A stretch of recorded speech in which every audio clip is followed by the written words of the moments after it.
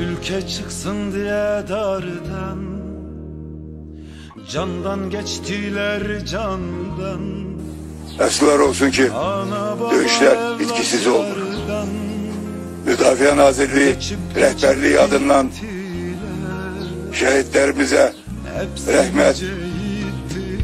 şehitlerimizin ailelerinin ailelerine diye sabır dileyrik. Candan geçti